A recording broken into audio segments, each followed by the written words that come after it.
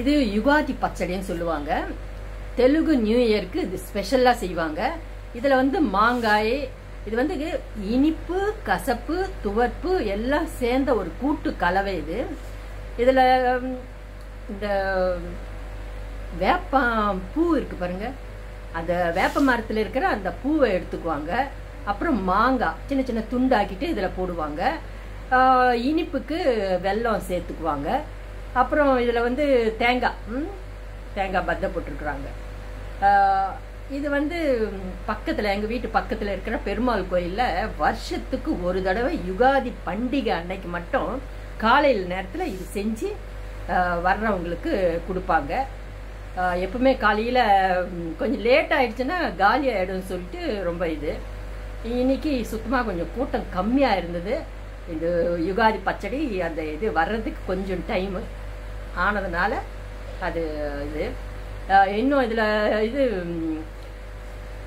வாழைப்பழம் சின்ன சின்ன துண்டு கூட போட்டு இதில் செஞ்சுக்குவாங்க. எதுக்குன்னா வாழ்க்கைன்றதுல வந்து இனிப்பு கசப்பு தோற்பு எல்லாம் சேர்ந்த மாதிரி தான் வாழ்க்கை. சும்மா எப்பவுமே ஜாலியாக என்ஜாய் பண்ணிக்கிட்டு சந்தோஷமாகவே இருக்க முடியாதுன்றது. அதில் பிரச்சனைங்க வரும்ன்றது கசப்பு தன்மைக்கு பிரச்சனைங்க. இனிப்பு வந்து சந்தோஷமாக இருக்கிற நேரத்துக்கு கசப்பு வந்து பிரச்சனைங்களை கணக்கு வச்சுக்கணும். பிரச்சனை இல்லாமல் மனுஷனே கிடையாது. பிரச்சனைங்களும் இருக்கும். வாழ்க்கைன்றது எல்லாம் சேர்ந்த கூட்டு கலவைன்ட்டு.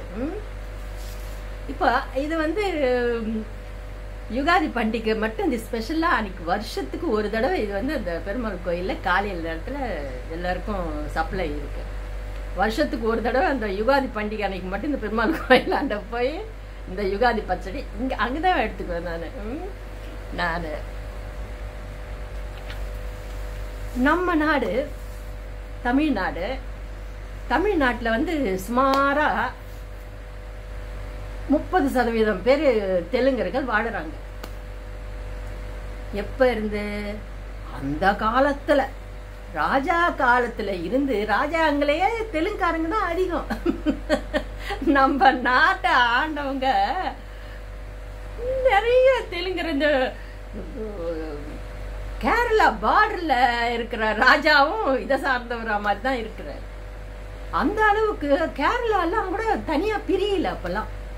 ராஜா கால ராஜாங்க ஆண்டப்போ அந்த பழைய இதெல்லாம் பார்க்கும்போது அந்த தெலுங்கர் தான் ராஜாங்களா இருந்திருக்கிறாங்க நாட்டை ஆண்டாங்க. நாட்டை ஆளக்கூடிய அளவுக்கு அவங்க திறமை படைச்சவங்களா இருந்தாங்க. தயால குணமும் இருந்திருக்கு. ராஜாக்கெல்லாம் தயால குணம் இருந்திருக்கு.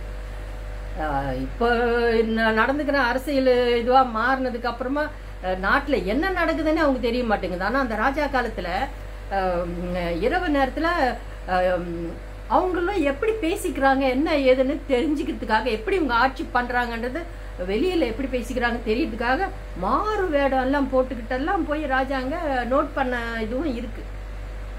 அப்படியெல்லாம் வாழ்ந்துட்டாங்க.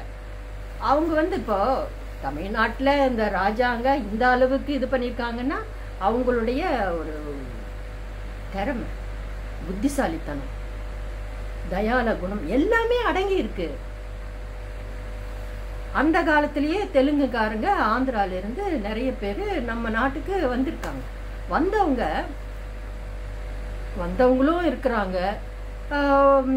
மாறி கல்யாணம் பண்ணி பொண்ணு தெலுங்காக இருந்தால் ம- பையன் தமிழாக இருக்கும். அது மாதிரி மேரேஜ் பண்ணிக்கிட்டு அவங்க குடும்பத்தை அபிவிருத்தி பண்ணிக்கிட்டவங்களும் நம்ம தமிழ்நாட்டில் நிறைய பேர் இருக்கிறாங்க. தமிழையே ஏன்னா தமிழ்நாட்டில் இருக்கும்போது தமிழையே படித்து தமிழையே புலமை வாய்ந்தவர்களாக மாறி அவங்க பேசுகிற தமிழ் மாதிரி நம்ம தமிழ்காரங்க பேசுறது கிடையாது. தமிழக தமிழ் த- தமிழர்கள்னு சொல்றவங்க அவங்க பேசுறத இந்த தெலுங்கு நாட்டுல இருந்து வந்து தெலுங்கு பாஷையை கூட விட்டுட்டாங்க அவங்க.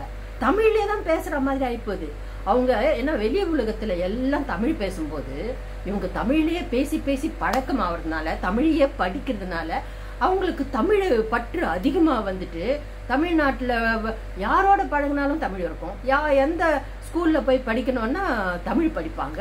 அப்படி இருந்து தமிழில் புலமை வாய்ந்தவங்களா மாறிட்டு அவங்க வீட்லேயே வந்து தெலுங்க மறந்து போகிற மாதிரி அவங்க லாங்குவேஜே போயிடும் தமிழ் தான் பேசுகிறாங்க நிறைய பேர்.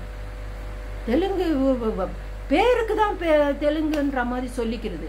பேசுறதெல்லாம் தமிழ்ன்ற அவங்களுடைய பாஷையே அவங்க மறந்துடுறாங்க தமிழ்நாட்டில் இருந்து. அப்படி இருக்கிறவங்க எவ்வளோ பேர் இருக்கிறாங்க. மகாராஷ்டிரியன்ஸ் இல்லையா? குஜராத்திஸ் இல்லையா? சௌராஷ்டிராக்காரங்க இல்லையா? சைனீஸ்காரங்க இல்லையா? ஆங்கிலேயர்கள் இல்லையா?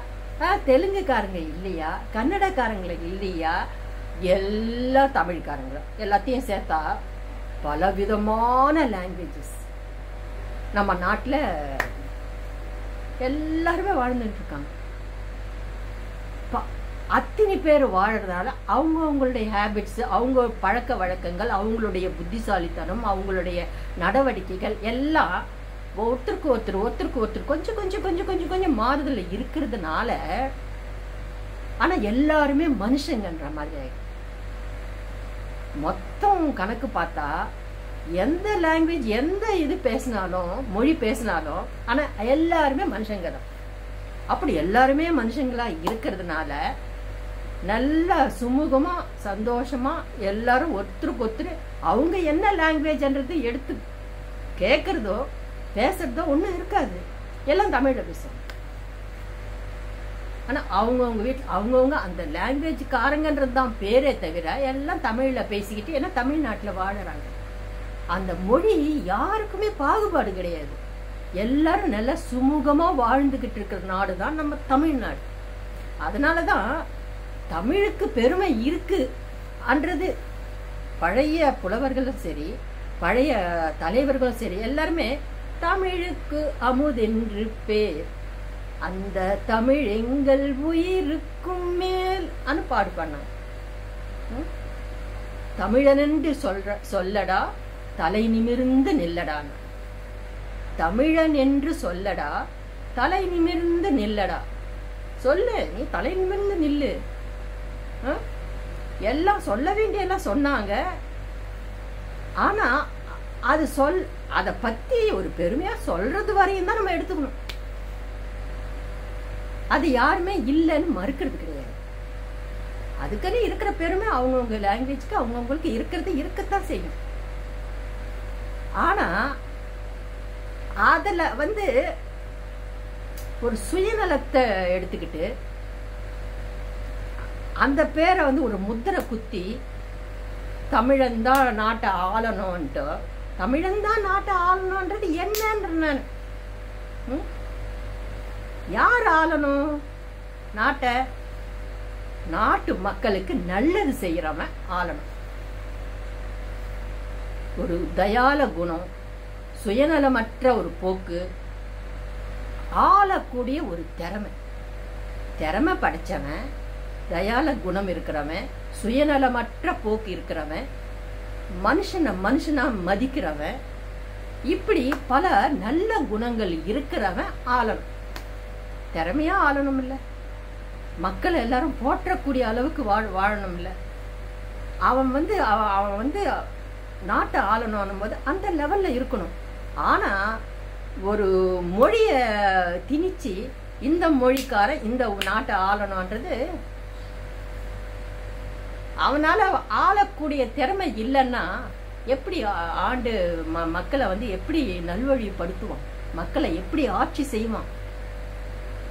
சும்மா மார்த்தட்டிக்கிறது பெருசு கிடையாது. ஆட்சி செய்யறவங்க எப்படி இருக்கணும்னு ஒரு வரைமுறை இருக்கு. ஒரு முதலமைச்சரா ஆகணும்னா அந்த முதலமைச்சருக்கு ஆகக்கூடிய ஒரு தகுதி இருக்கணும். அந்த தகுதி என்னது? மக்களை நல்லபடியா அவங்கள வந்து வா வாழணும் மனுஷங்கன்னா வாழறதுக்கு வழி வகுக்கணும் நல்லபடியாக அவங்க சந்தோஷமாக வாழக்கூடிய எந்த பிரச்சனைகளும் இல்லாமல் நோய் நொடி இல்லாமல் அவங்களுடைய அத்தியாவசியமான தேவைகளை பூர்த்தி பண்ணிக்கிட்டு வாழக்கூடிய அளவுக்கு அவங்கள வாழறதுக்கு வழிவகுக்கிறதான் வந்து முதலமைச்சருடைய கடமையாக இருக்கும் ஆனால் அதில் எந்த மொழின்றது இதுங்க வந்து முதன்மை பெறலை. அவன் தெலுங்குனா இருந்தா என்ன கேரளாக்காரனா அவன் மலையாளியா இருந்தா என்ன ஆ? கன்னடக்காரனா இருந்தா என்ன எந்த மொழிக்காரனா என் இருந்தா என்னன்ற நான் ஆ? எந்த மொழிக்காரனா இருந்தாலும் மக்களுக்காக தன்னை அர்ப்பணிச்சு வாழக்கூடிய அந்த முதலமைச்சருடைய பதவியை சரியானபடி நடத்தக்கூடிய மனுஷன் அவன் எந்த மொழிக்காரனா இருந்தாலும் பரவாயில்ல மனுஷனா இருக்கணும். மனித குணங்கள் படிச்சவனா இருக்கணும். மனித குணங்கள் எப்படி இருக்கணுமோ அப்படி இருக்கிறவன் முதலமைச்சரா இருந்தா நாட்டு மக்கள் எல்லாருமே நல்ல சுமூகமான வாழ்க்கை வாழ்வாங்க. மனுஷனுக்கு தேவை என்ன? தமிழை நல்லா இருக்கணும்னா அவனுக்கும் நல்லதுதான் செய்யணும். எந்த மனுஷன் மனுஷ மனுஷ வர்க்கத்துக்கு நல்லது செய்யக்கூடியவனை தான் முதலமைச்சரா இருக்கணும். அதுல எந்த மொழி பாகுபாடு மொழின்றது அவங்க பேசுறதுக்கு ஒருத்தருக்கு ஒருத்தருக்கு ஒரு கான்வர்சேஷன் ஒரு புரி புரிதலுக்காக தான் மொழி உருவாச்சு. அதனால மொழியை வந்து மொழிக்கு வந்து ஒரு முக்கியத்துவம் கொடுத்து இப்படி எல்லாரும் தான் சொன்னாங்க தமிழை பத்தி பெருமையா பேசினாங்க பெருமை பேசுற பெருமையை எடுத்து சொல்றாங்க அவ்வளவுதான். அதை தான் எடுத்துக்கணும். பறையசாற்றிக்க கூடாது. பறையசாற்றிக்கிறது யாரு செய்வாங்கன்னா சுயநலம் அவன் வந்து அதை வச்சு அவன் பிழைக்கிறதுக்கு பா பார்க்கறது. தன்னை முன்னிறுத்தி கொருது கொள்றது. எல்லாம் கம்மன் இருக்கும்போது அவங்கள தூண்டி விடுறது. சிரிப்பா இருக்குது நினைச்சா நாட்டுல நடக்கிறது சிரிப்பு தான் ஒருத்தர் ஒருத்தர் அந்த சுயநலம் வெளியில தெரியாத மாதிரி பொதுநலமா பேசி மக்களை அப்படியே மெஸ்மரிசம் பண்ற இது இருக்கே. பெரிய இது. என்ன மாதிரி ஞானக்கண் இருக்கிறவங்களால தான் அந்த சுயநல புத்தியை வந்து நம்ம கண்டுபிடிக்க முடியும். சாதாரணமானவங்க கண்டுபிடிக்க முடியாது. எல்லாரும் தலையாட்டுறவங்களால எப்படி கண்டுபிடிக்க முடியும்? அதில் கொஞ்சம் முன்னோக்கி யோசிக்கிறவங்களால சரியா கண்டுபிடிக்க முடியும்.